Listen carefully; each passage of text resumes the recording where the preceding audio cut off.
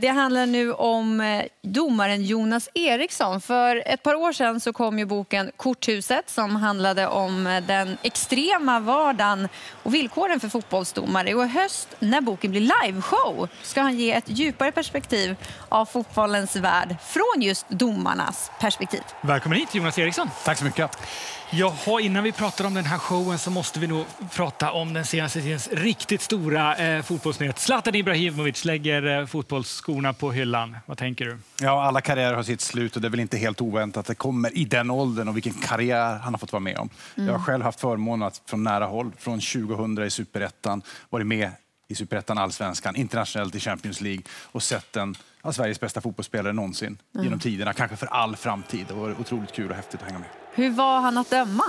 Han var inte alltid helt enkel. I ungdomen var det väldigt, väldigt svårt. Det var han, jag, jag, jag. Han hade svårt med kommunikation och dialog. Men ju äldre han blev, lite klokare, lite mer försiktig, lite enklare att hantera. Men det är klart, det berodde på resultatet. Vann de matchen så var han betydligt enklare än om det blev förlust och kanske ett gult kort eller en straff mot handslag. Mm. Du fick ja. ta honom i örat ibland, låter det som. Ibland fick man ta honom i örat på ett bra och schysst sätt för att försöka få honom att förstå. Jag tror att han var lite bättre och lite mer förståelse när vi svenska domare kom ut i Europa. Förstod att okej, okay, här ska jag nog anpassa mig lite grann och vara lite schysstare än vad han kunde vara mot andra. Har han fått rött av dig någon gång? Han har aldrig fått rött, sen kanske han borde ha fått det. Men ett antal gula kort. Ett antal gula. verkligen. Han lägger skorna på hyllan, mm. du har lagt korten på mm. hyllan, men fortsätter att prata om det, eh, inte minst då i den här nya kommande showen. Mm. Vilka berättelser är vi ska få ta del av? Ja, men jag fick ju förmånen att skriva en bok för några år sedan. Mm. Eh, 349 sidor, 11 kapitel som handlade om allt vad som händer bakom kulisserna. För så många som tittar och följer fotboll regelbundet. Mm. Men så otroligt få personer som egentligen vet vad som egentligen händer. Så jag skrev en del berättelser i boken. Och sen har jag föreläst sen jag slutade döma fotboll. Jag har pratat om ledarskap, kommunikation och bygga team. Men inte pratat om fotboll, fotboll, fotboll, vilket jag ska göra den här gången. Och jag tror att det finns jättemånga berättelser, det finns jättemycket klipp, bilder, filmer, ljud som folk aldrig upplevt. Alla som sitter och tittar på fotboll, och det är det jag ska prata om. Vad tänker du på då? Vad är det vi inte har fått uppleva? Kommunikation mellan mig och mina kollegor, mellan mig och spelarna, vad jag säger för någonting. Ni ser ju bara, och spelarna gör ju så här idag. De gömmer. Ja. Jag har spelat in vad spelarna säger. Jag kommer att komma ännu närmare. Man kommer att föra mig och mina kollegor när vi tar de här besluten, de blixtsnabba besluten 300-400 beslut under 90 minuter under extrem press. 80 000 människor skriker i ett öra och fem kollegor i det andra örat. Men du, men du har spelat in detta alltså? Ja, men det var en naturlig del att spela in en hel del, bara för att kunna analysera. Enda sättet för er att bli bättre på att sitta i sändning, det är att lyssna på vad ni säger. Och för mig att bli bättre på att kommunicera var att höra, hur låter jag? Hur låter jag och mina kollegor? Hur är vi tydliga? När blandar vi ihop saker? Så det här var en naturlig del för att utvecklas. Så det här är otroligt intressant att titta på för att förstå en helt ny dimension av fotboll. Verkligen, ja. något som vi inte får vara med om som du säger normalt. Där. Men du, hur gör man show av bok? Ja, det är en bra fråga såklart. Dels har jag lärt mig att stå på scen. Jag har föreläst kanske tusen gånger de senaste fem åren. Eh, och jag tror att när man pratar om fotboll på det sättet att man bara pratar utifrån en regelbok, det svartvita är inte speciellt roligt. Men blandar man in berättelser, detaljer om världsstjärnor, illustrationer, filmer, bilder, grafik, då blir det en show på ett sätt som jag tror faktiskt inte fotboll upplevts riktigt tidigare. Mm. Ja, men så det blir ju spektakulärt och spännande, men det blir, domaryrket är ju otroligt utsatt mm. också. Mm. Du själv har, har varit hotad, mm. Eh, hade hemlig identitet i mm. flera år vilket påverkade inte bara dig utan inte minst barnen mm. som inte kunde vara med på klasslistor, det blev problem med sjukhusbesök och så. Varför är det värt allt det där? Varför var det värt allt det för dig? Mm, jag tror att alla jobb har någonting negativt kring sig såklart. Och fotboll, fotboll var det roligaste jag visste. Jag har tittat igenom hundra matcher inför jag skrev den här boken. Varenda gång jag går ut och tar den här bollen så är ett leende på mina läppar. För att döma fotboll, den otroliga press och stress som finns, men den känsla av att klara av en match med den enda belöningen man vill ha, det var att gå ut från planen utan att någon kastade någonting, skrek eller hatade eller hotade.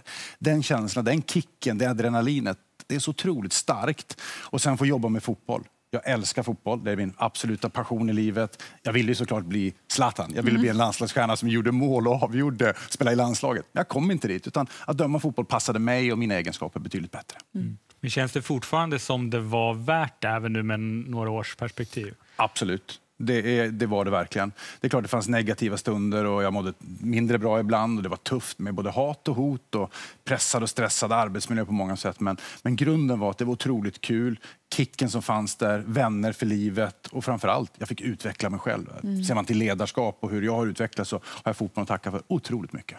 Och man vill ju att fotbollen bara ska vara den där festen, men inte minst bara för någon vecka sedan så såg vi skandalderbyt får vi väl ändå säga mellan AIK och Djurgården där eh, bangers och bengaler kastades in. Vad tänker du som domare, tidigare domare om sådana situationer? Ja, men arbetsmiljön är viktig oavsett vad man jobbar med, både för spelare, ledare och inte minst domare. Och man ska ju veta att 99,5 procent av alla som går på en match är helt fantastisk. Man skapar en supporterkultur som är enastående.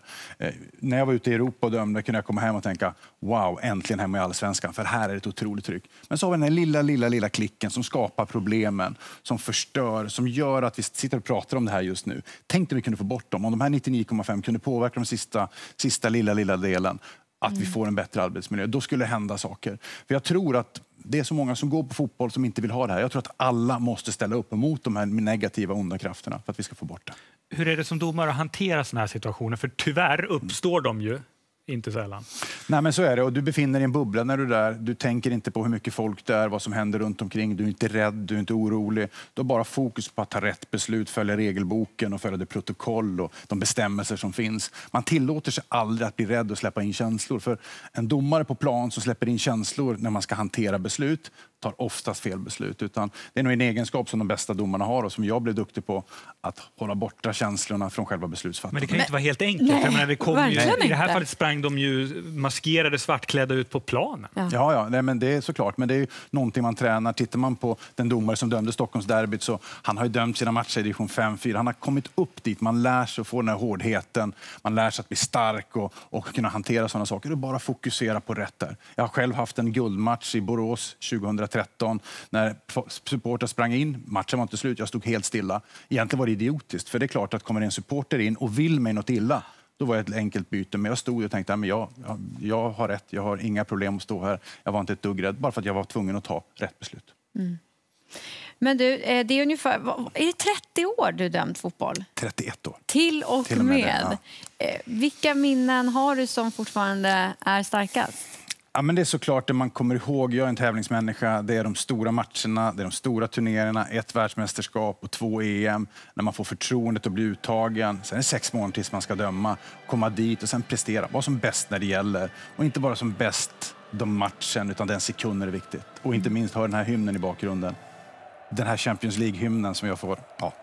Jag får rys på armarna och stå där och, och vara med på, på den här semifinalen i Champions League och befinna sig där jag önskar att jag hade befunnit mig som spelare. Fick komma dit som domare istället. Ansvar för att ta 300 beslut på 90 minuter. Att leda 22 världsstjärnor på planen. Ja, det är någonting magiskt. Och, ja, ja, jag är otroligt stolt och glad över alla matcher jag fått vara med om. Och när jag tittar tillbaka, jag är inte mycket för nostalgi, men när jag får se de här bilderna så, så känns det otroligt... Ja, jag är stolt och glad över vad jag och mina kollegor fick vara med om. Tiotusentals på läktaren där, nästan lika många på att säga när du föreläser. Men nu ska du möta en showpublik. Hur, hur, hur, vilken känsla går du in med då? Men såklart respekt för att det inte är så enkelt att ställa sig på en scen och bjuda på en show. Men som med allt, är man fotbollsdomare älskar man utmaningar. Att skriva en bok, först så här, nej absolut inte. Sen bestämde jag för att skriva en bok. Och jag gjorde det och vi hade ett ganska blygsamt mål och nu har vi sålt över 50 000 böcker. Så det här är samma sak, en utmaning. Hur ska det här gå? Kommer folk att komma? Kommer folk vilja lyssna? Och jag tror det. För jag kommer att försöka bjuda på en show som berättar lite mer om fotboll än vad någon har gjort tidigare. Du får ladda upp och träna fram till oktober då det är premiär i Göteborg. Det får jag definitivt göra. Stort tack Jonas för att du kom till oss den här morgonen. Tack. Tack.